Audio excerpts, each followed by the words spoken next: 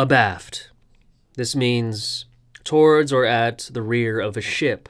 An example of this is, um, well, actually used to work in Alaska on a boat, on a fishing boat, and um, there's been some slow days and stuff. So it's like I'd blow up a little inflatable one man um, dinghy and uh, I just lay lay down on it like a couch um, in the sun.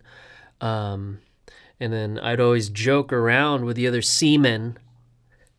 You could say, abaft is where I laughed on the raft.